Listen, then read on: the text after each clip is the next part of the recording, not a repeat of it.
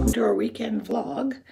So today is getting, or this weekend is going to be super busy. I'm just getting ready to go for a ride with Deanne. We're heading to an area called Sherwood Park. It's like St. Albert, but it's on the completely other side of Edmonton. Let me see, is that her? Can you bring me a nail file?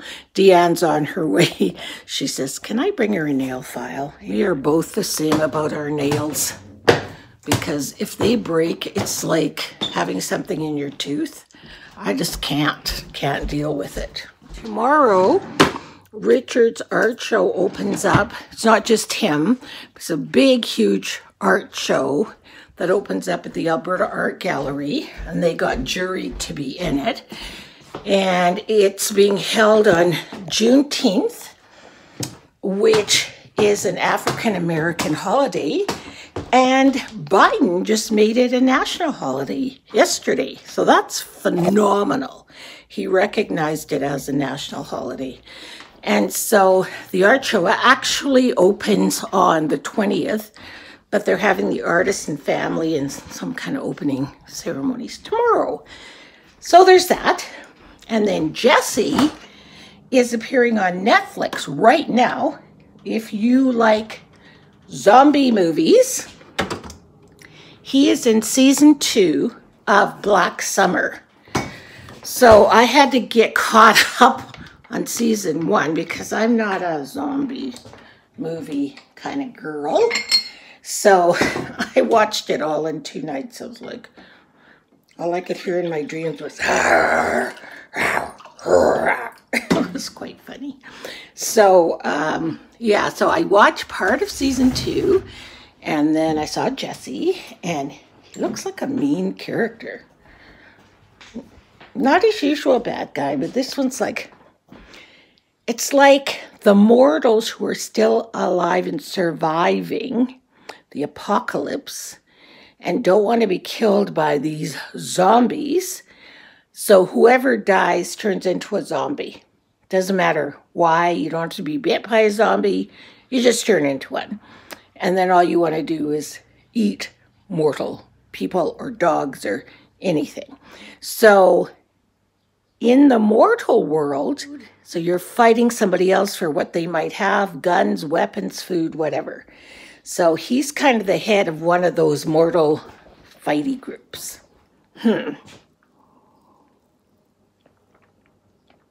I did not raise him to be that. He's always a bad guy. And the funniest thing is Jesse is always such a nice guy. But because of his size, he always gets placed in the tough guy roles, you know?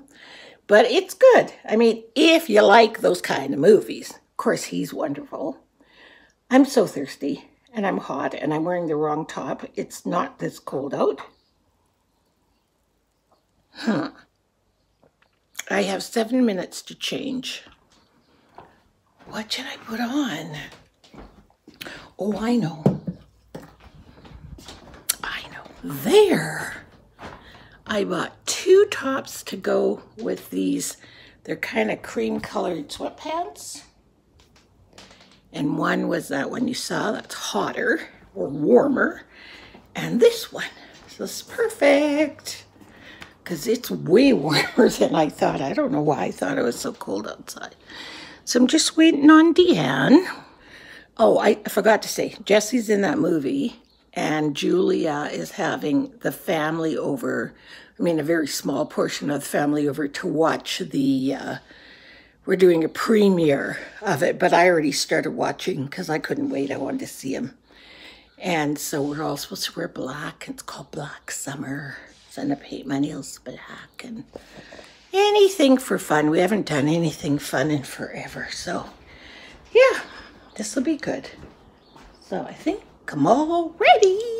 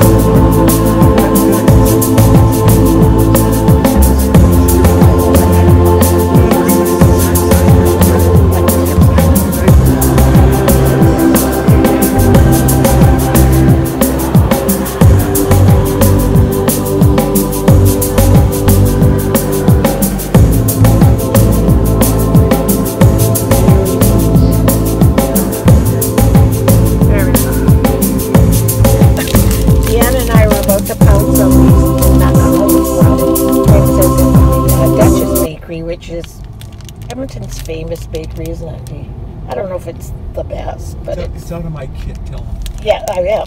so this is Richard's gift he got, and it was tied with this really cool kente cloth. I'll use that for something. And he got a bottle of beautiful bottle of prosecco. This is a really nice bottle by Brut. Brut. Then he got a big poster of where is the postcard? Do you have it there, Richard? The postcard? Oh, just so I can do yeah, so I don't have to unfold the poster. He got a big poster of this, and that's Richard right there. And then um, the coolest thing I think is the mask. Look at this mask. It says five artists, one love. It's always been called that, even though Yeah. there were 15 artists in it this time. At the very beginning, there was only there. There were five. Yeah, there, I don't even think there was. Well, maybe there was five. And Richard's one of the originals in the very first art show. But look at this mask. It's so masculine too. And Deanne's in the back seat whispering, macaron, we're hungry. Okay, so I'm gonna give her a macaron. What color do you want? Choc- chocolate? Okay. People outside, outside dancing. Oh my God! What's happening? it's going perfectly. Like she's in a oh, it's right now. Oh, yeah, yeah, No, yeah. it's like perfect. can't. You're just like So Jesse made Black Summer drinks in honor of the premiere of Black Summer. And it's Guinness and ice cream. They're beer floats, and apparently beer floats are the new trend. I hate Guinness, so let me take a sip.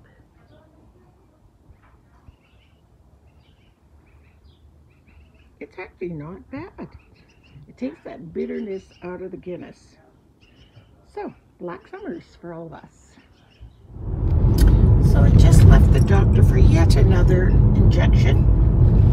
And we are going over the brand new bridge. Do you know what this bridge is called? Brand new bridge. it's called the brand new bridge. That's what everyone calls it too. Have you been over the bridge? There it is over there. Isn't it pretty? And that's the high level bridge. That's the one they light up for special occasions and when it's um, Trigeminal Awareness Day. That's the the, bridge. oldest bridge in I know. That bridge is lit up in teal because that is the color for trigeminal neuralgia. Way over there, that big black line right there. So now we're going over the new bridge. But isn't it pretty? It is a nice little bridge. And then there's the big Saskatchewan River, the North Saskatchewan River. And the heart of Edmonton City Center. Hey everyone. We're getting ready to go camping tomorrow for a few days. I always like to make fun meals at home and then finish them up on the in the trailer or on the Coleman stove. So over here I have um, the meat ready for burritos. I have refried beans as well, so it's going to be like an awesome super taco with sour cream and cheese and tomatoes and all the yumminess. So that's cooling off, and now I'll put it in container. And this is called Tangjuli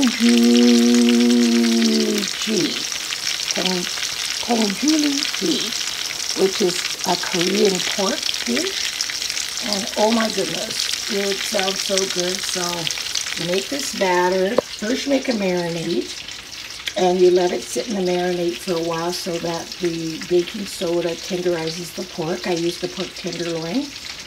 And so this, the marinade's just baking soda, soy sauce, and water, I think, and salt. And then you make up a batter, which is simple, just flour, baking powder now, and I forget, an egg or two. You whip up the batter, and then you dip the pork in the batter, obviously, and it sits in there for 10 minutes. And then you crispy brown them like that. And then I'm going to put them on here. And then when we get to the campsite, they get a second fry, which is what you would do even if you were cooking it at home. You They get fried twice. And then you add the sweet and sour sauce on top. And chopped green onions. Yummer Yummeroonies, man. And then I made a cherry sour cream coffee cake for our breakfast. And we've got stuff on the table ready to go. So yeah, should be fun time. So here's the beach. Post-COVID at 8.30 p.m. Look at this. Jesse was here earlier and he said it was wall to wall people. But he went back home. Where are we that way? So we're just driving back from the beach front and it's amazing to see so many people still out, still barbecuing, um, music playing, partying. You'd think you were at a beach in Santa Monica, California. There's so many people. And it's 9 p.m. at night. But we have the luxury of a sun that rarely sets in the summertime. So it is so hot here.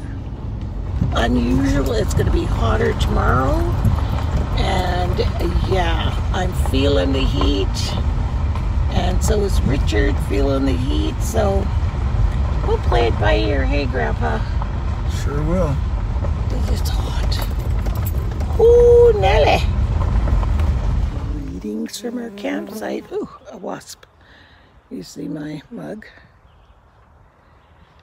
Life is better at the campsite. So true. I think that should be on the outside on the mug, don't you? So people can read it. But whatever, it's beautiful here. It is so hot and so hot in the city, but when you're sitting under these beautiful pine trees, it's really nice and cool and breezy. We just had a delicious, delicious late breakfast. We had a sour cream coffee cake with cherries that I had picked last summer. So good. And a fruit salad. We always like to have fruit salad camping because it's um, one way that you're going to get your fruit. So we had apples oranges bananas and blueberries in it. It was delicious.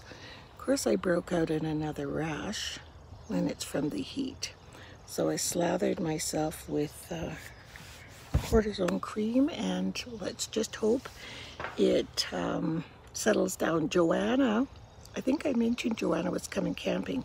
So we were trying to figure out where her site was going to be. It is literally kitty corner to us, like across this road, hang on, across the road, right behind Harriet, like right there across the street. So she's not here yet, but she'll get here this afternoon around three or four. So she's going to bring me some antihistamine because I forgot to bring them. So that's so nice. I'm glad she's coming out. And uh, today I said to Richard, I don't want to go anywhere. I don't want to be in the sun. Yesterday was way too much sun. And we're just going to sit around here and I'm going to read and do some art, do some artwork. And um, Richard's going to do some artwork and I think I might do some mixed medias. I just grabbed a whole bunch of stuff. I'm just going to play around. Look how pretty. It's so nice. And see, the next campground is like not even that close. You can see the edge of that trailer there. So you're quite far. There's one there and then one there. So you're not close to people. Blizzard campground. you were very, very close, but the view was incredible. And then I noticed they had a lot of plantain here. So I'm gonna harvest some. I don't know if you guys know what it looks like, but it's right by our fire pile there. It is that one right there. So I'm gonna go and harvest some of that. so I can make some more of my plantain cream because it's fantastic. So this is the book I'm reading. I started it on Friday and today's Monday. This one. So I'm ha literally halfway through, exactly halfway through. So hopefully I'll get it finished while we're out here. So that's all I'm doing, just chill. Check out this Alberta blue sky. Big sky, Alberta. Look at this. I mean, come on. Not a cloud in the sky anywhere. Pretty nice, eh?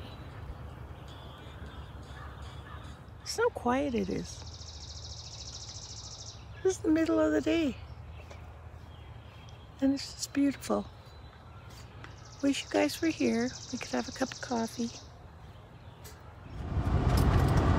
Look at this. Yeah, it's so good though. So we are breaking camp a day early because it is too hot for lupus. I broke out in another horrible rash and I have to go back to the doctor tomorrow. So we have to go home a day early, but that's okay. We had fun. Your health is more important, or my health, or anybody's health is more important. And these are extreme, extreme temperatures for us. Like 91, 92, 93 is extreme for Canadians living where we live. It's so hot we don't even have mosquitoes, which is just, uh, it's as common for camping as s'mores. And there's not a skeeter in town, not a bug around. So we just go for a little stroll down here. Check it out. Look at this old tree. It's really pretty. I was gonna forage for some plantain, but I just can't be out in the sun that much. It's just too hot. This is all plantain. Oh my god. You know what? I'm gonna dig some up anyway. Because this is too much to look at this goodness. It's a field of plantain in the shade. Going to get some. Be back. We're on our way home, and I just love the way little old Harriet just chugga chuggas behind us, like, I'm going home. Isn't she the cutest little trailer ever? I love her. I really, really do. It's just fun. We enjoy her, don't we, Richard? Yep.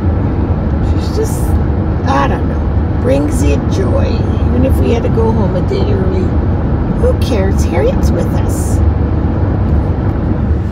It was so hot in the house, we decided to go for a car ride. So we're in Morinville. Morinville is a French town about 10 miles north of St. Albert. And as St. Albert, Morinville was also a very rich French Canadian community, also responsible for the residential school system that happened to the indigenous people that they were suffered through and abused in. And so what's been happening lately, and I'm not sure because I don't have the facts, but they're saying it was vandalism, is the churches that were involved in uh, residential school have been burnt down. And while they were beautiful monuments, I was trying to explain to Richard if our home was a home that had we were performing child abuse acts on children and pornography and horrible things and somebody burnt our house down would that be a bad thing? So you know it's a lot to think about and while violence isn't the answer if you were a child and a product of that maybe that's your only, you know, your only resolution. I don't know. But anyway, we've driven by this church for years and years, and it was an absolutely beautiful structure as far as architectural go. And it's no longer here. So I think that was the residential school. See the building in the back? Right in the behind. Look when you go, when you, when we come up here. So I'm gonna flip your bridge. To take this thing off the window. Oh dear. Look at, this is Priest home.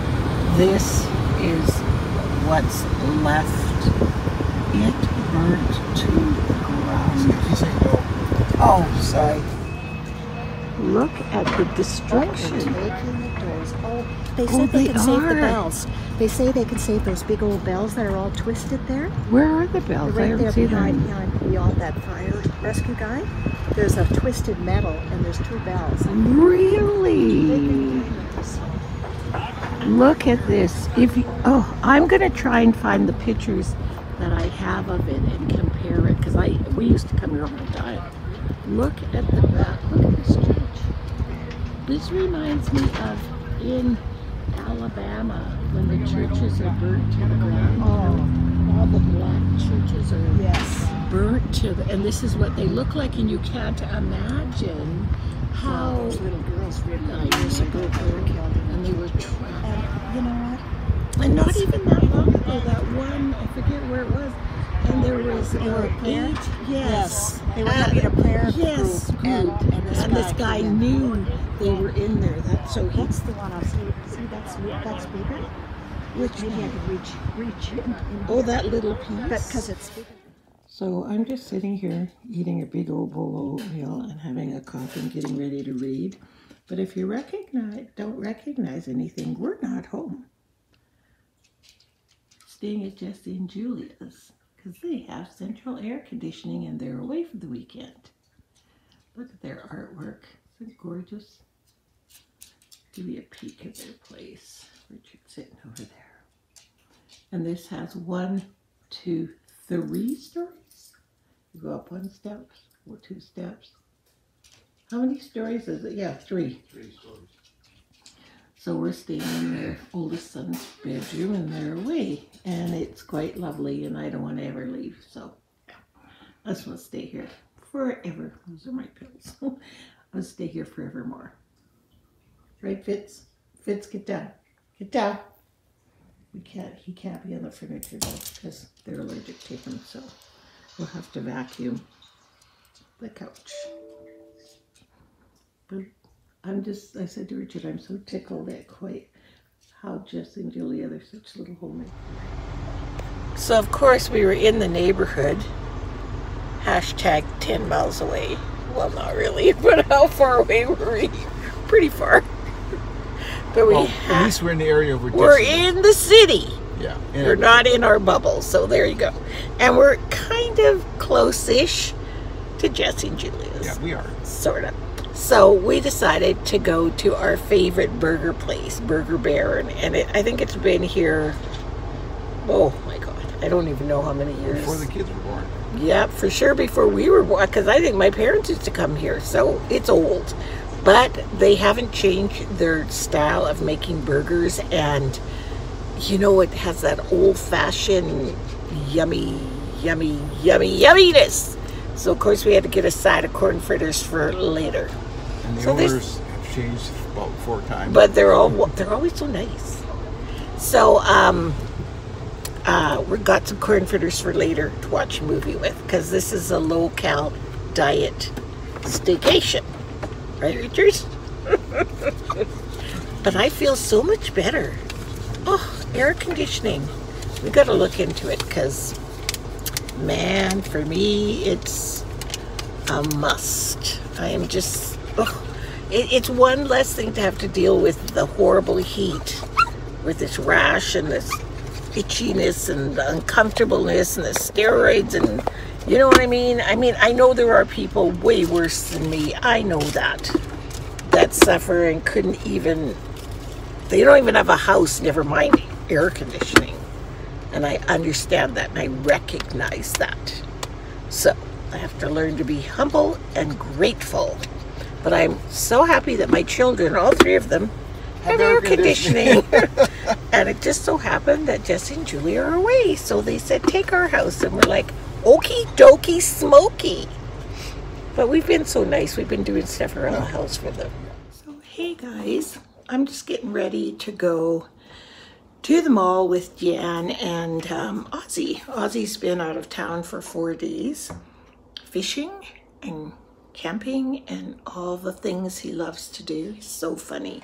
But to be honest, I don't feel good. No. Those strong steroids are, whoa, strong. They are working. That second rash has settled down. It's not as burning and itching and awful as it was. And um, my arm is really getting better. And then there's odd ones all over. So, but they are working. So, um, but the side effects are headache and nausea. And I woke up with a headache, like an old fashioned good old headache, you know, like the kind, you know, like a headache. So I tried Tylenol, didn't work. Or it might have worked because I was at five in the morning. I just went back to sleep. And then by about noon, it was just pounding. And then I remembered the Costco brand of acetaminophen works a hundred times better than the brand name of Tylenol. Go figure. So you know what? I think I'm going to close the vlog here. Thank you all so much for watching and hanging out with us. Fitz, really? He's getting better at not barking. Are you being a better doggy? Needs a haircut. But his barking in our last camping trip, he was really well behaved and we've been taking him in the car with us more often. And when one of us gets out of the car, he's much more settled. When so. he doesn't bark, we give him a treat. So Fitz and I want to say Goodbye. Can you say bye, Fitz? Say bye-bye. Stop. He must know I was talking about him. Funny dog. Anyway, thanks so much for watching, and we'll see you all next time. Bye.